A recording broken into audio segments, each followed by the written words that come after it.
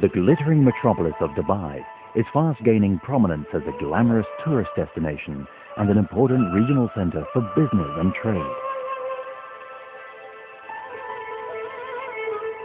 To further enhance Dubai's status as a world city, an ambitious new project has been launched to streamline its transportation infrastructure. Dubai Metro. Dubai Metro Rail will operate more than 100 fully automated driverless trains on 75 kilometers of electrified track, serving 47 stations. It's one of the most advanced mass transit systems in the world. There are two lines serving the city's main populated districts. The red line runs between Jasta Limitless and Rashidiyah. There are 29 stations spread over the 52 kilometer route and the one-way journey time takes about one hour. The Green Line connects Al Qusais with Al Jaddaf, passing through Healthcare City, a distance of 22 and a half kilometers. There are 18 stations on this route with a one-way journey time of about 30 minutes. The Dubai Metro rail system has been carefully planned to fully integrate with the city's existing transportation infrastructure. Bus routes and stops are organized around the rail system's alignment, extending its reach into all communities across Dubai. Taxi ranks and park and ride facilities are provided to further attract passengers. A common fare payment method provides seamless transit between all public transport using smart cards. Typical metro journey from Financial Center to Union Square provides an introduction to the passenger experience. Station entrances are provided at street level through the distinctive arched pods common throughout the system. An air-conditioned walkway across Sheikh Zayed Road leads directly into the elevated station concourse. Throughout all stations, clear and simple signage indicates the passenger's journey each step of the way customer service centers, ticket vending machines, retail outlets and washrooms provide all the amenities for the passenger's comfort and convenience. Passengers can use the recently introduced eGo smart card to enter the system. Once through the ticket gate, passengers proceed to the platform level via lifts, escalators or stairs. Platform screen doors enhance passenger safety and allow for full climate control throughout the entire station.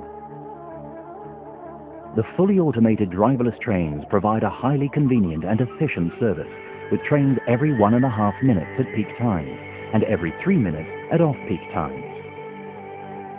With impressive views of Dubai's skyline, the metro system, as well as providing an efficient passenger service, will also become a highly popular tourist attraction. Emirates Towers is another overground station. Access to the main concourse is at ground level. On entering the station, passengers are directed through the ticket gates and ascend to the platform by way of lifts and escalators. Like all overground stations, glass walls provide a clear sense of orientation to the city outside, and roof lights radiate daylight to illuminate the public spaces below. The Gold Class carriage is situated at the front of the train and has been designed to provide VIP passengers with comfortable seating in a luxurious setting. On reaching the old part of the town at Al Karama, the railway heads underground through the tunnel portal to arrive at BurJuman Station, immediately below the main shopping plaza. BurJuman is one of the 10 underground stations and is one of the two main stations that serve as an interchange between the red and green lines. Passengers on the Red Line wishing to transfer can proceed to the Green Line platform one level above. The easily recognizable entrances at street level provide convenient access to the main concourse, which is located immediately above the Green Line platform and features a select range of retail shops.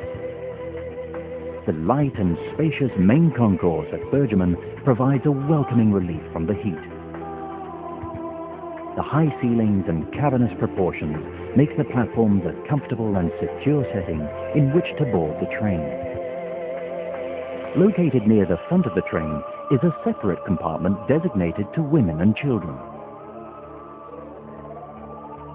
Remaining on the Red Line, the journey continues underground, passing beneath the creek to our destination, Union Square.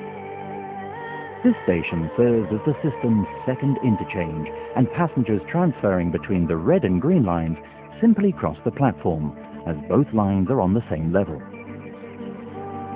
Union Square is the end of our short introductory journey. The main concourse at Union Square is just one level above the platform and directly beneath street level.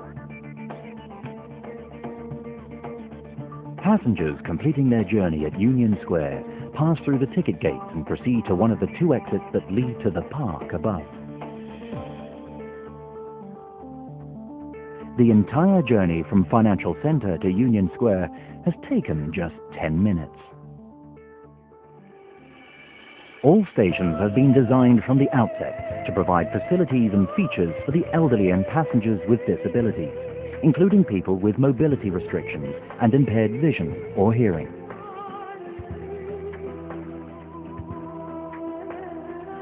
Station interiors have been designed as works of art, enhancing the travel experience and reflecting local culture.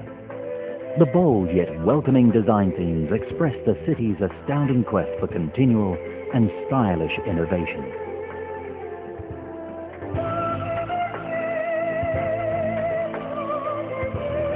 Dubai's metro rail system is at the leading edge of railway engineering technology and will be a powerful catalyst to boost tourism and economic growth, not only in Dubai, but throughout the United Arab Emirates.